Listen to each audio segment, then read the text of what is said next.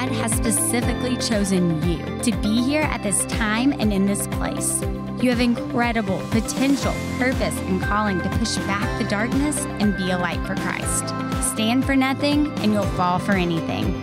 It's time to stand your ground. This is Unapologetic.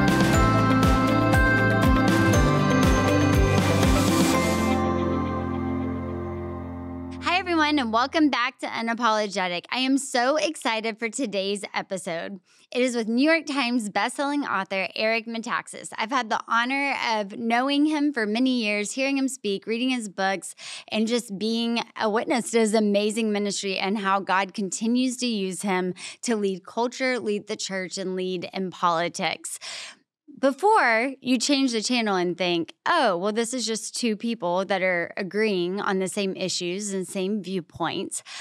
I'm going to throw a curveball here. I've never done this before in this show. Today, I argue the other side because I want us to get the questions answered that people really want answers to, questions people really have, arguments that are valid, and ones that maybe ministers and politicians and authors don't always answer or they don't answer well. Eric is passionate about the gospel, about sharing the gospel, and about the Christian's responsibility to influence culture. Please help me welcome to the show, Eric Metaxas. Hi, Eric. Oh my goodness. Thank you. So that is so kind. I want to leave because I can't possibly live up to that. That's really sweet. Thank you so much. We ask everyone on this show the number one question What do you wish Christians would stop apologizing for? Their faith. It's kind of funny because I think to myself, it's it's like somebody gave you a lot of food and they're starving people and you're like, well, I don't know uh, if I want to share this because I might offend them or I, I, don't. And you think, wait a second, you've been given this blessing to be a blessing to others. So stop pretending that there are people out there who are starving who don't want food. They want mm-hmm. food. Uh, and I think when we talk about our faith, we've all seen our faith misrepresented in a million ways. So we're not talking about that, but we're talking about the authentic faith, the love of Jesus, what that looks like. It is the most beautiful, hopeful thing in the universe. And I think that a lot of us have kind of gotten this idea that, well, I don't want to be too strong in my beliefs or I have to be careful. And well, look, we all want to be careful and we all want to be polite, but you're sharing something beautiful. Every human heart longs for the truth of Jesus, the truth of scripture. And we sometimes, I think, get tangled up thinking, well, yeah, but, yeah, but. And I think that there's no but. There are people out there that are dying to know even does truth even exist, much less if it does, would it be available to me? And when you tell them, yes, truth is a person and he died for you and he loves you. And by the way, it's true. It's not a, a myth, it's not a fairy tale. This is reality. The whole universe uh, is created by the God uh, who came to earth. And I mean, when when we really know that's true, not to share it um, really becomes a terrible thing. And so I think that uh, some of us are kind of living in half measures and, and we're sort of, we kind of act like our faith is sort of true, or maybe it's true for me. And I think, well, then you don't really have the faith you think you do, because when you understand what it is, you're burning to share anybody uh, who might want to hear it. Right. That's it. That reminds me of this quote. Uh, you know, people are so into their words of the year. I've never found a word of the year, but uh, Churchill has a great quote Don't do your best, do what's required. And so much of the language right now is, well, I did my best, or I don't want to offend them. It's like, as Christians, we're called to what's required. We're required to share our faith. Like, that is why we're here.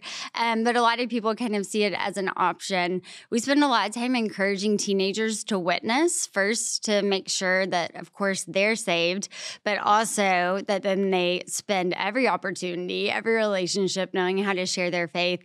And we've encouraged them to find a verse that motivates them or something that they say to themselves that propels them. And we give them ideas, but one of it is what you just said. We'll tell them remind yourself when you're scared or when you feel like you should pull back, you're not sharing your opinion. Like it is the truth. It is the only way people don't go to hell. And I think that just whatever can reframe that because we we are pretty persuaded to pull back and be ashamed and not not tell the truth. Not you. You do a great job of it. But culture does try to get us not to do that. Do you have any suggestions for how we can be strong in our faith? Well, one one thing it's kind of funny because the my newest book is my shortest book. It's called Letter to the American Church. But the book that came out just before that is called Is Atheism Dead? And it's really apologetics. Um, and it plays on the idea that in 1966, Time magazine had a cover story that said, Is God dead? And we've been all living, anybody my age and younger has been living with this narrative that somehow, you know, faith is uh, wobbly, uh, faith is on the outs, science is disproving faith. That is completely untrue. Um, but we've been living with it. And I discovered a few things in the in the course of uh, the last years that were so astonishing in terms of apologetics, proof of God from science, mm-hmm. from archaeology. I said the evidence for God is way beyond what even I thought was possible. And I want to get this into the hands of Christians yeah. and say to them, hey, if you ever doubted your faith, read this. The evidence is overwhelming. It's kind of like wondering, I wonder if the flat earthers have a point. And you, you realize, no, they don't. That's been settled. When, when, when I wrote the book Is Atheism Dead, I said, I've got to get this, these apologetics, new apologetics really, into the hands of Christians to say to them, listen, your faith is absolutely true. The God who invented the universe, who enabled us to do science, it all points back to him. Science points back to God more now than it did 30 years ago. So I want to encourage people to say that before you can really successfully share your faith or live out your faith, you need to know that it's real. Right. It's not just something your parents told you or it's not sort of real. It is reality. It's the truth of the universe. And I think that the more we know that, um, the more bold we'll be. You can't help but be bold when you really know something is true. We always talk about making a connection. Like, honestly, if anyone tried to argue anything scientific with me, I don't like that's not a stumbling block for me. Like, I don't, I believe it. Like, but that's because of how I grew up, and that's not necessarily the things that I'm interested in. Like, I'm very interested in why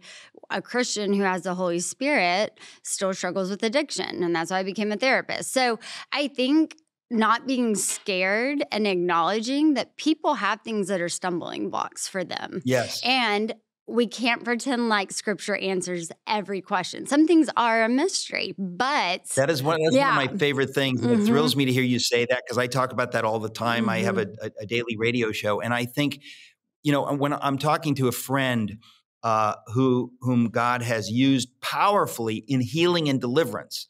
But I talk to him about all the cases where you pray and pray and pray and the person doesn't get healed or and we have to be honest we have to say uh, uh, there's no magic answer sometimes there's a mystery and i think we have to be comfortable with that we have to say god is god we can know what we know but i can't prove god to somebody who's not interested i, I can't uh, even answer questions that I've been asking for decades. So we can know what we can know, but we have to stop pretending like believing in the God of the Bible means I've got all the magic answers. Right. Part of the answer is things are a mystery. There's suffering in the world, there's difficulty in the world. Um, and being honest about that itself is a witness that I'm not wedded to some ideology. I'm wedded to what is true and what is real. And God doesn't tell me to kind of like gin up some kind of a fake happiness uh, in the midst of, of, of brokenness. There's a deep joy, but that's different from you know kind of a plastic smile. And I think that that's that's a powerful witness to people who are struggling to see that even those who have powerful faith that in some ways they struggle and they have questions. That's really healthy. We had a girl in the student ministry and she had decided to become a witch. And I don't know why they were all trying to find me. They were like, Where's Julia? Where's Julia? And I was like, Okay. and I sat down with her and I used counseling Julia, not ministry, not ministry apologetics. And so I just tried to connect with her. And I said, you know, what's going on? Where did this come from? Why are you interested in this? I'll tell the shorts version. And she said, Because I prayed to God to heal my dad and he died. Well, instead of saying, Well, don't you know he's in heaven? Well, don't you know that this world is sinful and that death's just part of it? Like connecting first, like that's a real problem. Like praying for your dad to live and he dies. And then she went to school, a witch started talking to her and she saw like some like little trick or whatever. And she was more interested in that because she tangibly saw it. So instead of pretending just like, oh, that's absurd or trying to explain it away, like the connection of saying that is confusing. That is hard. And she expected me to say witchcraft wasn't real. I was like that's real too but it's not it's of a different spirit. And i i just know different people because of how their experience or how their mind works need to be reached in different ways. And i know a lot of scientists eh, that they need that. They need you to prove it. I do want to ask you this because I grew up 90s, 2000s, where we talked about apologetics all the time. Like I was reading Lee Strobel, Case for Christ, and all of that. And I mean, I loved it. And it seems like there's a switch now. I mean, honestly, now with today's young people and millennials, I'm having to even just explain what I'm talking about. Like, this is what the word theology means. Has there been a shift in uh, literacy or understanding? We're just getting very elementary where everyone does not even kind of have the same frame of reference anymore. Yeah, well, it depends what culture you grow grow up in, but American culture has become increasingly secular. Uh, and I think a lot of the things that we could have taken for granted a couple of decades ago, we can't now. You can't assume that somebody, uh, if you say the Bible says this, that they're going to care. You know, you, you have to find people where they are. But the God who created every one of us uh, wants to reach every one of us and and we have to start wherever we have to start you know and the yeah. lord knows and the holy spirit knows you know mm-hmm. we pray lord show me the way in mm-hmm. or, or mm-hmm. lead me as i stumble around show me uh, how I can show your love because everybody needs a different thing. Right. And I remember when I was 24, I was not a believer. And I remember, um, you know, somebody shared with me uh, C.S. Lewis's book, Mere Christianity. And I was like reading it. It meant nothing to me. It, it, it just did not do for me what the person thought that it would do. And I think to myself, how weird, because what an amazing book. C.S. Lewis doesn't get better. But the point is, uh, whatever I was looking for was not that. But the Lord knows what we're looking for. And so if we, you know, it's the cliche, if we meet people where they are, and it doesn't matter, you know, there's no formula, but if you if you live out your faith, you show people the love of Christ and that that you are you're open to whatever is true. It's not like you're trying to sell something. You're you're you're trying to sell reality and truth. And I just think when people see that honesty, a lot of people today, it, it speaks to them. If they see you being honest, um, uh, it, it, it means more than anything, frankly. We're going to switch gears here to me arguing the other side in just a second. We should have had two shows, but apologetics people people don't know what to say whenever they have a family member that's smarter than they are, and they apparently, you know, claiming to be wise became fools. They have you know, given into any kind of ideology and they think like, oh, well, that person must know more than I do, or I could never have something to share with them. And we talk about how you just study what's brought in your life. Like I've I had a season where I had a lot of Jewish friends. Well, I didn't know a ton about Judaism. I've been a Christian since I was 5, but then I became I very um, aware of Judaism and I studied it so that I could minister to that person. I think people kind of can forget that you can study things as an adult and get good at it in order to reach the people in your life. Uh, well, absolutely. And and I think, you know, again, we um all of reality was created by God and points to him. Right. So you can really start anywhere uh, it, it's not like, well, you've got to stick to theological stuff. All of reality points to God. And I think that one thing Christians have to know as well is that it's not your job to get people saved. That's God's job. And I think that Christians often feel like, well, I've got to start uh, to debate somebody, or I've got to, sometimes not saying anything might be the most powerful thing you could do that day. That somebody says, well, you're not going to be preaching in my ear. Okay. So maybe next time uh, if I have a question, I won't be afraid to ask it because you're not going to hit me with both barrels of what you've been taught in your Sunday school or something. And I think that yes. that idea that we have to have to like argue people into the kingdom. Mm-hmm. Sometimes, honestly, the best thing you can do is you play the long game. Right. And you say, "I'm going to pray for this person. I'm going to be there. I'm going to show them love if they have a question or whatever." but I'm not going to try to hunt them down because, frankly, the Lord is usually not calling us to do anything like that. Uh, and, and I think that when you try that, honestly, you're pushing people away. That's the last thing the Lord wants us to do is to argue somebody away from Christian faith. Uh, and so I think we, we have to be careful as much as he wants us to share our faith. There are times when the way you do that uh, is by being humble and quiet uh, and not arguing with somebody. You know, if somebody wants to believe something crazy, maybe now's not the time for you to disabuse them of their crazy notions. Uh, sometimes that'll come up uh, another time. Sometimes it'll never come up. But maybe today, you know, the best thing I can do is just just be there and and not go after them with argument. That's so good. I have a principle in my life that I live by because I'm prophecy, spiritual gift, and evangelist, and my dad's a Baptist pastor. Um, oldest child syndrome. But if someone's really like in that's in my life, in my sphere, about to completely go off the rails or make a completely, I mean, like life altering, incorrect decision, lifestyle, I tell them once. Like that's my rule. Like I'm going to share the truth once in love so they know where I stand. But then I'm going to keep the relationship because we need to keep the conversation and the door open. And then also that way I'm not manipulating every single conversation to try to be like, hmm, what do you think the Bible says about that? But I, I like unapologetically say it once. That's just a practice we do so that we know they know where we stand, but then we continue to love them. We need to switch gears. I could talk to you forever. I knew that whenever um, I was around you in New York. So let's talk about arguing the other side of uh, America, a Christian nation, the American church, church and politics.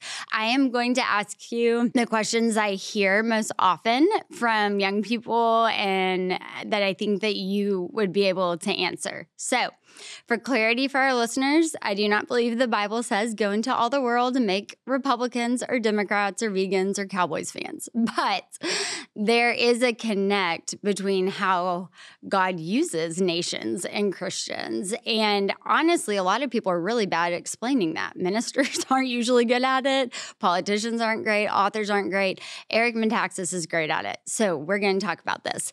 Okay, first thing Christians being in politics is not the yeah. point of the gospel. We're not supposed to go into the world and make someone a part of our political party. Well, I mean that's true and not true. Let's let's go back to I wrote a book about William Wilberforce, mm-hmm. who when he came to faith in the late uh, 1700s, he was in politics and he knew that because he'd come to faith in the God of the Bible, that the God of the Bible said slavery is an abomination and that he needed to use his role in politics to stand against the slave trade and to work in politics against the slave trade. That was political. But the Lord called him to do that, not because the goal is to be political, but the goal is to end this abomination that is harming human beings made in God's image. And people at the time said to him what they say to me or what they say to anybody who says anything political. They said, ah, ah, ah, you're being political. Keep your faith separate from your politics. And Wilberforce thought, are you kidding? You mean I'm going to be silent about the slave trade? Uh, my Christianity compels me to talk about that and to use anything I can use um, to defeat that evil, that, that corrupt monstrosity called the slave trade. So we applaud him today. We say, well, that, that was a different case. That was that was Wilberforce. You know, yeah, he was political, and you think, well, yes, because he he wasn't afraid to be political. He wasn't thinking that the goal is politics, but the point is to convince someone that slavery was wrong everybody who disagreed with him said, "Oh, you're being political." And, and why are you trying to com- convert me to your point of view, your religious point of view? And you think, well, because it's true, because God loves the people who are suffering under slavery. So if I'm convinced that Marxism or socialism uh, is going to crush the poor, and I know that that's true, am I going to be quiet about that? God calls me to love the poor. And so I'm going to say, that system and people advocating for that, which in, in America today is usually the left, mm-hmm. I would say, listen, I've got big problems with tons, mm-hmm. if not most, of the Republicans. But let me tell you something. You need to be careful. Mm-hmm. Uh, this is really destructive. Lives are at stake. Communities are being destroyed because of socialism and big government. And if you love those people, you're going to advocate for that. Mm. And you're going to advocate for representatives in government who are going to advocate for that. And when people say, oh, uh, you're being political, you say, well, call it what you want. God calls me to love the poor. And so I'm voting for that Republican in this case, not because I agree with everything he said or did, but because I believe his policies will bless the poor, will give them opportunities. And we have to be clear that when you vote for somebody, you don't you're not agreeing with everything. It's like you know you pick a dentist. you, are you're, you're not saying, well, uh, I I I, uh, I picked this dentist because I agree with everything that you pick them because you say this is their job, and you know I want to I want to get somebody who's going to do a good job. And you know, you hope you did the right thing, but you don't say, but if there's anything in his life that doesn't agree with that, I'm not going to go to that dentist. Mm-hmm. Basically, politics is the same thing. You're going to pick a flawed human being whom you think best for the job. And when people say, well, that's that's got nothing to do with the gospel. It has everything to do with the gospel. Your faith is supposed to be lived out in every sphere. And the reason I wrote the new book, Letter to the American Church, is because so many people have bought into this confused idea and it is harming people. If you love people, you, you're going to have to be taking your faith into every every part of life, to school boards, uh, into politics, uh, into the media, into everything. The Lord calls us to bring Him and His hope and His truth into everything. So, this crazy idea that no, no, no, no, you're just supposed to quote unquote preach the gospel. You think, what gospel am I going to be able to preach if I don't believe in, in freedom, in freedom of expression, free, free speech? You know, and so we need to educate ourselves that these things are all connected. And the idea that I could just stay in this little theological lane, that's just not biblical. If it was biblical, I'd be all for it. But I don't believe that's what scripture says. In fact, I believe scripture says the opposite. So, yes, can you make an idol of politics? You can make an idol of anything. And the Lord commands you not to do that. But to say I'm not going to have anything to do with that, it, it's just like saying, like, I don't want to love my country because uh I'm going to make an idol of my country and I'm supposed to be a citizen of the kingdom. That's like saying I'm not going to love my wife uh, and my daughter or my parents because I might make an idol of that. I just need to love God. And I think, where did you get the idea that these are supposed to be in competition? your love of God makes you love your family more, and your love of family should be a reflection of God. Can you make an idol of loving your family? Sure. Jesus says, you know, unless you hate your mother and father, he makes that point that God has to come first. But you're supposed to honor your mother and father. All these things are supposed to work together. Uh, and we've we've bought into a lot of these ideas that are just they're not biblical, and frankly, they're harming people's lives. And so we have to we have to try to get it right. Most people become Christians before they're 15. I did not grow up somewhere that had private school. All of my ministry experience, inviting my husband to church, seeing him saved, witnessing to my friends, all of that, like that was the foundation of my life. That's been the story of my father's life. Many people, many of our ministry moments, our love for non Christians, our ability to reach, minister, defend our faith. I've took on many teachers. That was all within public school. And so just kind of like practically fleshing out some things that you said. If we don't have those freedoms, it literally can cost people not being able to share the gospel, not being able to accept Christ. It's already yeah. happening. It's already happening. And and listen, because my mother grew up in Germany and my father grew up in Greece, I know what it can right. be like to be outside of this country where people mm. lose the right to advocate for what they believe in. We in America have been so blessed, we don't appreciate that what we have is not normal. What we have is a gift from God, freedom is a gift from God, and we're meant to use it for God's purposes. We're not meant to take it for granted. We're not meant to say, oh, America's a bad country. Let me tell you, uh, people like my parents, they would have done anything to come to this country if they could. And I want to say that those of us who have the privilege of living here need to understand that God gives us this gift of freedom for his purposes. We're not to ignore it because there are all kinds of places around the world where if you say, I want to share the gospel, they will say, I will cut your head off. I will throw you in prison. I will, you will lose your job. In this country, we have tremendous freedom that way. And if you think it will last forever, it is already going away. A lot of the kind of woke policies and a lot of the cancel culture is working against American style freedom, which works against the proclamation of the gospel. So if you only care about it for that reason, you need to care about it. We who are Christians and know how this all ends up, we know Jesus comes back. We know the the world's destroyed. God has a plan. People are being saved. Why, you know, we're kind of going more into the super, super uh, Calvinist here, but why do we even need to try to change the world when we know it's coming to an end? Well, because the Lord commands us to do that. Uh, if I see somebody uh, uh, wounded in the gutter and I walk past them, the Lord will judge me for that. He says, I called you to help those whom you could help and to do what you could do. I will decide when we're going to wrap it up, when we're getting out of here. I will decide when, you know, the universe melts. Until that time, you're my people filled with the Holy Spirit. And I command you to live out the faith you claim to have in every way possible. So when people say, what does it matter? That's the voice of the devil. Mm-hmm. That's not the voice of Calvinism. That's the voice of the devil saying, don't do anything. It doesn't matter. And let me also say that that is Eastern religion. Eastern religion says it's, it's, that person in the gutter is just working out their karma. If you try to help them, you're just messing with their karma. Let them rot. Don't do anything good for them. The Christian faith says, I'm supposed to care about that person. I'm supposed to care about uh, the strangers who are suffering uh, and the neighbors who are suffering. And God calls me to do something about that. Uh, in the eternal scheme of things, the Lord is the one who decides the way things go. But He has deputized His church, and it's so clear from Scripture. And again, I, I it's one of the main points of my the, the book letter to the American church is that the Lord says the church is the conscience of the state. We are wow. to be the Lord's voice and his arms and legs wherever we can in every single sphere. And how much success we have and how it goes, that's in the Lord's hands. But if we do nothing, the Lord will not hold us guiltless. He's silence in the face of evil is evil.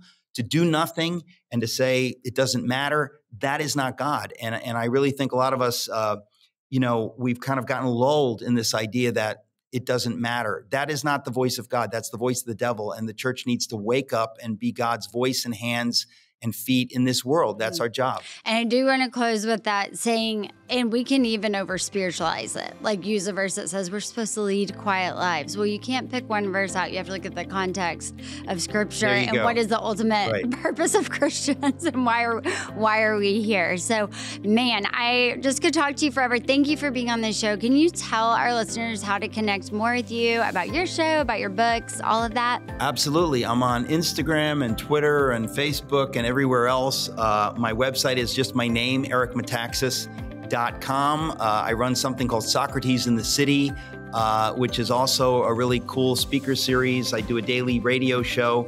But uh, yeah, I would just encourage people to find me uh, at ericmetaxas.com or anywhere they want to look. And it's just a joy uh, to get to talk to your audience. Thank you. Yes, thank you so much for being on the show. Thank you for tuning in to Unapologetic. Remember that you can hear today's episode and more at ptv.org slash Julia and wherever you get your podcasts.